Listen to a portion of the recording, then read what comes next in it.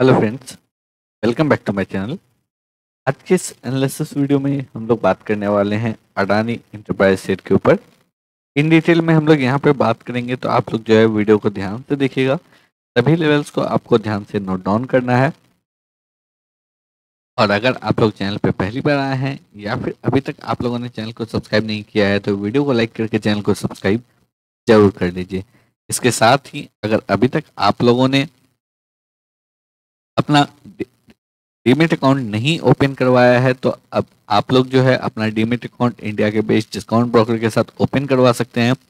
जिसके description box में link मिल जाएगा, जिस लिंक के थ्रू आप बिल्कुल फ्री में ओपन करवा सकते हैं।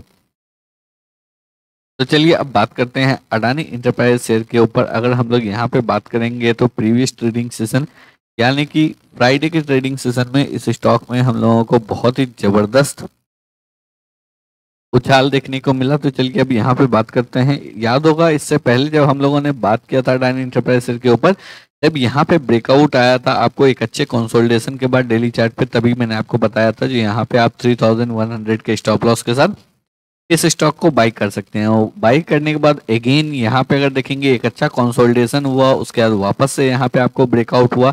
अगेन यहाँ पे देखेंगे, टू डेज़ का कंसोलिडेशन हुआ है और वापस से जो है, यहाँ पे आपको एक अच्छा ब्रेकआउट देखने को मिल रहा है। अब यहाँ पे एक चीज़ मैं क्लियरली बोलूँगा, जितने भी जितने भी लोगों ने इस रैली को मिस कर दिया है, यहाँ से जो आपको ये रैली स्टार्ट हुआ था, अगर आपने इस रैली को मिस कर दिया है तो आप अभी वेट कीजिए, आप इमीडिएटली यहाँ पे बीच में जंप मत कीजिए, क्योंकि अभी आपको रिस्क रिवॉर्ड रेशियो अच्छा नहीं मिलेगा। क्लियरली अगर देखेंगे तो स्टॉक जो है एक डबल टॉप ऑलमोस्ट आपको फॉर्म कर रहा है। अभी कंप्लीटली फॉर्म नहीं हुआ है। यहाँ पे देखेंगे तो आपको हाई जो लगा था, यहाँ पे पर्टिकुलर 3885 का हाई लगा था। और यहाँ पे जो प्रीवियस ट्रेडिंग सेशन में हाई लगा है 3849.8 का हाई लगा है। तो अभी प्रीवियस अपने ऑल टाइम हाई से स्टॉक तकरीबन जो है 30 पॉइंट नीचे ही ट्रेड कर रहा है।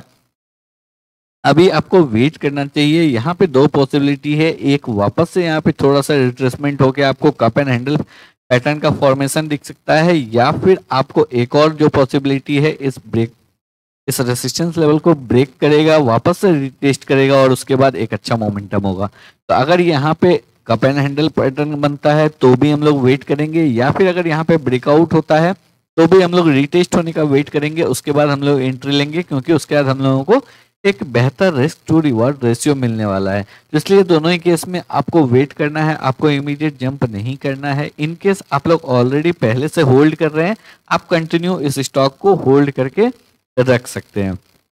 तो आई होप आप लोगों को सभी लेवल्स जो है बिल्कुल क्लियर हो गए होंगे। अगर आप लोगों को वीडियो पसंद आया हो एनालिसिस अच्छा लगा हो वीडियो को लाइक करके चैनल को सब्सक्राइब ज़रूर कर